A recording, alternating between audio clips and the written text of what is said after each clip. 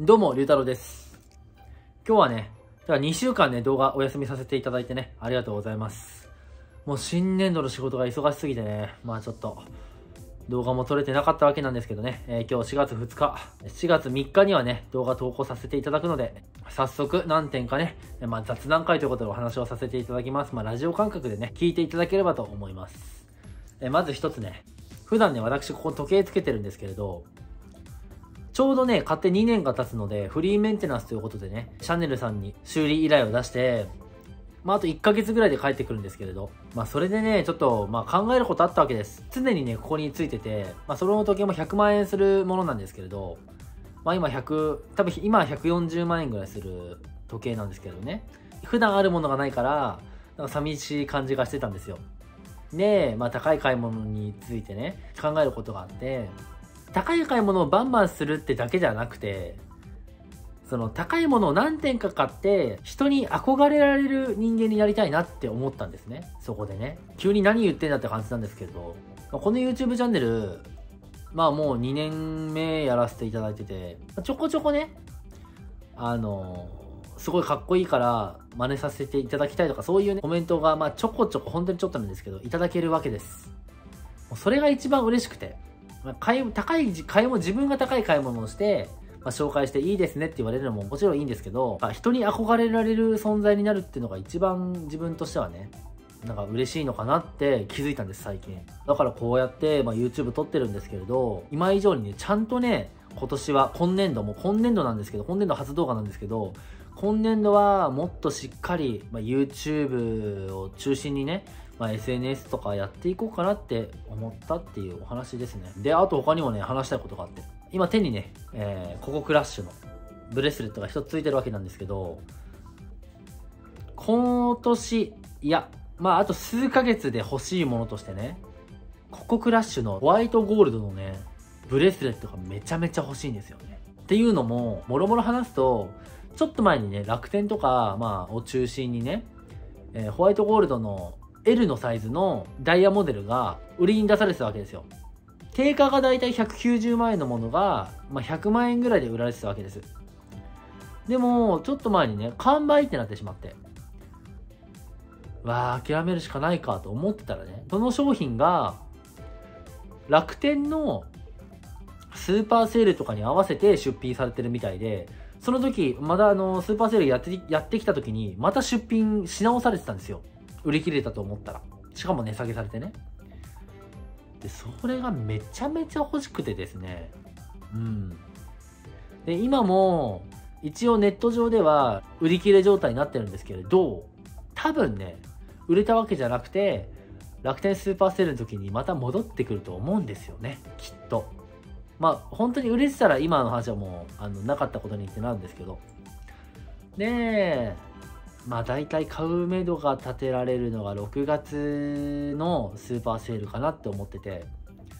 そこでね、購入したいと思ってるんでね。えー、ここにもう一個ね、あの自分つけてる時計がダイヤが入ってるから、ホワイトゴールドはダイヤモデルしかないので、ホワイトゴールドのね、ここにもう一個つければね、もう完璧かなって、まあ、プラスでちょっとここ、クラッシュのね、指輪もつけたいなと思ってるんですけど、まあ、腕はもうね、申し訳ないと、申し分ないというかね、完成形になるんじゃないかなって思ってますね。すべてを投げ打ってでもね、また、えーホワイトゴールドが売ってれば、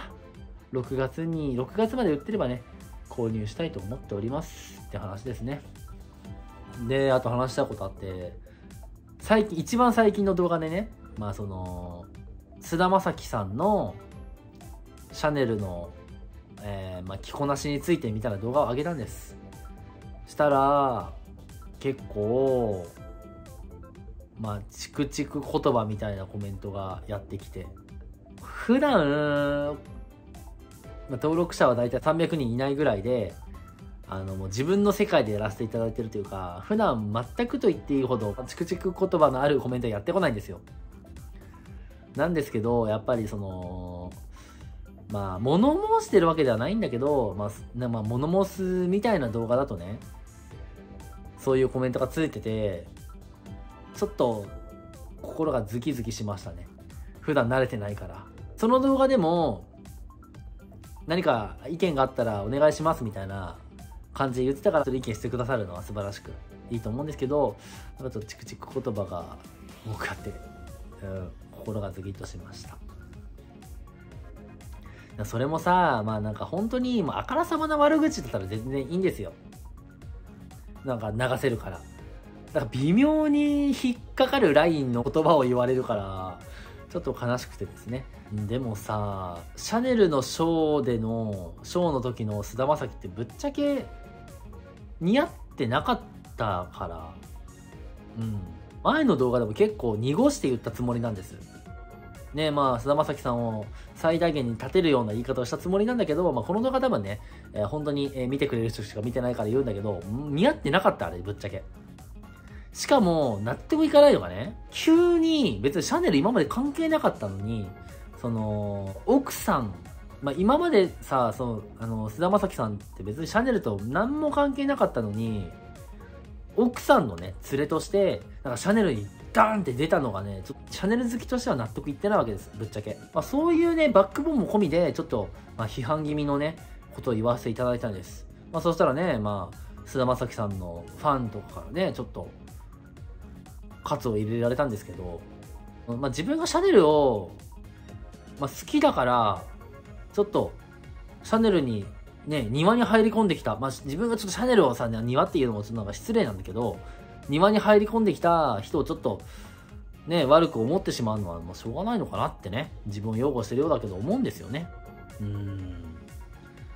ねだから、本当は、あともう一個ね、動画があったんです、そのモノモース系みたいな動画でさ、今回のプレタポルテで、ブラックピンクのジェニが、絆創膏してたじゃないですか。その絆創膏についてね、ちょっと納得いかないというか、絆創膏は果たしておしゃれなのかっていうのをね、すごく思ったから、その動画出そうと思ったんですけど、まあ、なんか言われるのが怖くて出せなかったですね。撮ったんだけどね、動画は。うん。で、そう、別の YouTuber さんの名前とか出されてさ、なんかその、それを目指すなら、もっと知識を入れろみたいな。いやまあ今までその服に関して知識ではなくて感覚でやってきたつもりなのでまあ確かにこうやって YouTube で紹介する上では知識も必要なのかなって感覚だけではなくてねね思わされたんだけど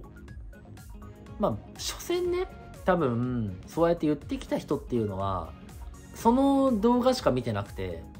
こうやって多分今も見てくれてる人ってあの継続してね見てくださってる方々がほとんどだと思うんです。この動画いきなりね初見でいきなりこの動画見るって人は多分いなくて。多分だけど。いたらありがとうございます、まあ、だから今後もね、まあ、知識ももちろん入れてはいきたいんだけどこうやって感性でね、えー、自分なりのファッションを皆さんにお届けできればと思ってます。うん。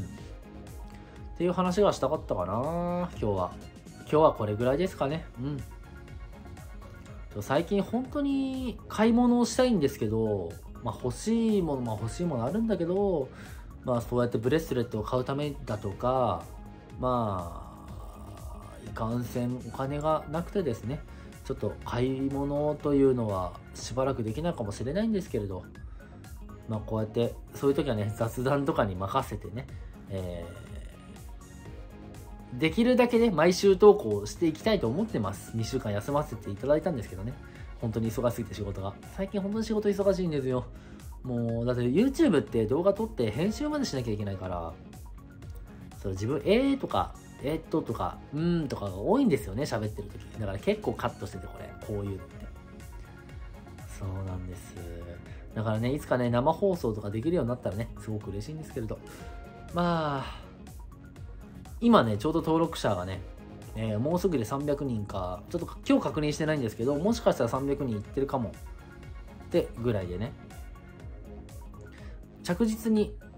登録者増えてってて、すごく嬉しいです。ありがとうございます。これからもね、えー、毎週、ほぼ毎週月曜日にね、投稿させていただきますので、えー変わらずよろしくお願いいたします。というわけでね、えー今日も見てくださってありがとうございます。チャンネル登録、コメント、高評価、ぜひぜひお待ちしております。ご視聴ありがとうございました。じゃあまた来週も会いましょう。今週も頑張りましょう。さよなら、バイバイ。動画を見てくれてありがとう。チャンネル登録よろしく、そして高評価もよろしく。えー、インスタグラム、ツイッターもやってるのでよろしくお願いします。また見てね。お願いします。